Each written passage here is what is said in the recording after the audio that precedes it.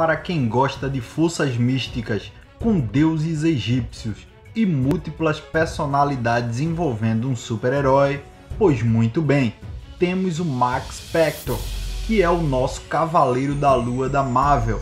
Então, se você não conhece esse personagem, você veio para o lugar certo. Vamos te mostrar tudo o que você precisa saber sobre ele. Vem comigo! Fala meus cinemaníacos, Joãozinho Mesquita na área e o Cavaleiro da Lua apareceu pela primeira vez na HQ Werewolf by Night, de número 32, no ano de 1975, porque uma organização sinistra chamada o Comitê contrata ele para caçar o lobisomem Jack Russell. O personagem é bastante comparado com o Batman da DC, porém ele tem algumas diferenças que vão além da aparência. O Cavaleiro da Lua já apareceu em vários títulos de HQs, junto com o Homem-Aranha e com o Hulk.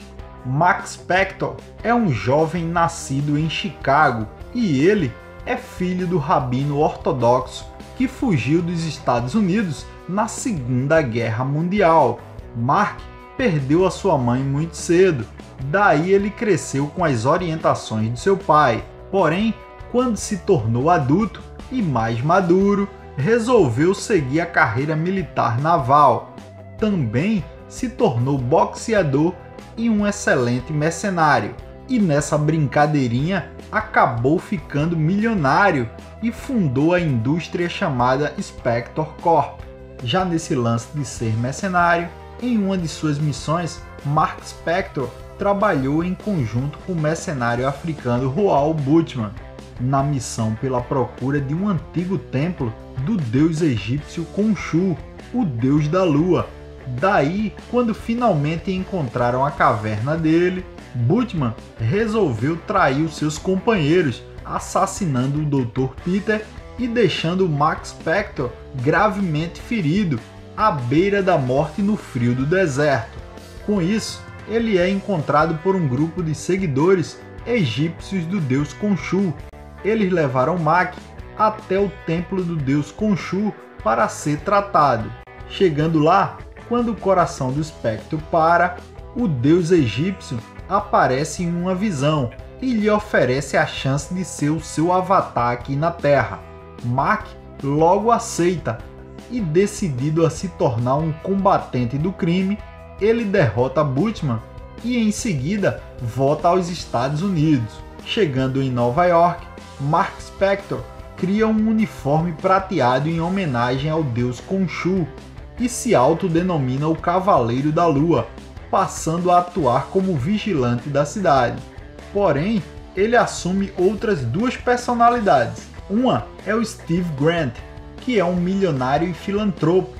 Com essa sua identidade principal, ele usa para permitir acesso à alta sociedade. Já a outra é o Jack Lockley, que é um taxista e com essa identidade ele usa para ter contato com as pessoas comuns em Nova York no seu dia a dia. Ele acaba desenvolvendo um tipo de esquizofrenia e com isso cria várias personalidades dentro de si mesmo.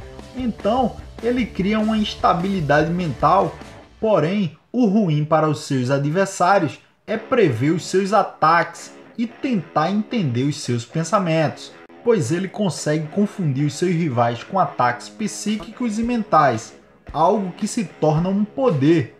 E por falar em poderes, por ter sido militar e boxeador, é um excelente lutador corpo a corpo e um verdadeiro atleta olímpico. Ele tem um lado investigativo como ponto forte devido às múltiplas personalidades e também é especialista em armas e explosivos.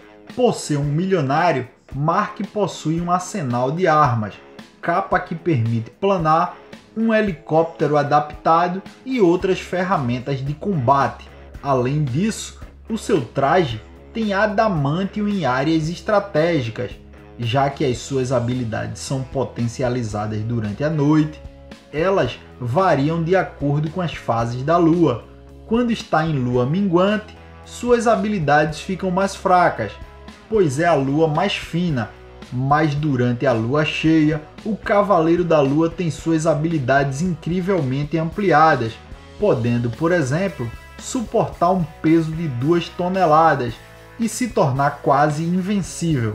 Além disso, ele possui alta resistência a ataques psíquicos e ocasionalmente recebe visões proféticas do deus Khonshu. Ele também acaba adquirindo a personalidade do Senhor da Lua, onde ele atua mais como investigador do que vigilante. Daí, ele ajuda a solucionar vários casos, inclusive junto com a polícia. E uma curiosidade engraçada é que o Cavaleiro da Lua não quer se esconder, ou seja, o cara quer mostrar que não chega de surpresa. O seu traje é branco ou prateado porque ele quer ser visto chegando e causar medo nos adversários, os seus vilões. Logo quando chegou no Brasil, as editoras passaram a chamá-lo de Lunar, o Cavaleiro de Prata, mas depois, com um certo tempo, passou a ser adotado o nome de Cavaleiro da Lua. O Cavaleiro da Lua aparece também em uma luta contra o Homem-Aranha, em uma série de 2012, e essa série é chamada de Ultimate Homem-Aranha, onde os dois fazem uma luta em que tem bastante confusão e quebradeira. O Cavaleiro da Lua acabou de ganhar uma série produzida pela Marvel Studios, que está disponível no serviço de streaming do Disney Plus. A série foi lançada agora em 2022 e está com a sua primeira temporada. Lá, o Max Spector é interpretado pelo ator Oscar Isaac. Ele também já fez Star Wars, o que ajudou, pois é da própria Disney, com a Lucasfilmes. Daí facilitou a entrada no universo cinematográfico da Marvel, já que a Marvel também é da Disney. Nos Games Movies, ele apareceu pela última vez como um personagem jogável em 2018, quando foi lançado o jogo Marvel Strike Force, que é uma experiência baseada em turnos. Ele tem todo o arsenal tradicional do Cavaleiro da Lua dentro do jogo, além de buffs de saúde para enfatizar a durabilidade do personagem nos quadrinhos. E se você gostou desse vídeo, curte, compartilha, comenta. Afinal, aqui é o único canal onde o internauta sempre tem razão, cara. E se você quer nos ajudar a fazer mais conteúdos como este, aí na sua tela está a nossa chave Pix. Ela que é o nosso e-mail e que vai estar aqui embaixo no primeiro comentário fixado. Então, se você puder colaborar aí, dá aquela força ao canal, velho. E se você não puder ajudar dessa forma, não tem problema. Deixa a curtida, se inscreve no canal que já vai ajudar bastante. Muito obrigado por terem ficado até aqui. Um forte abraço, fiquem com Deus e tchau!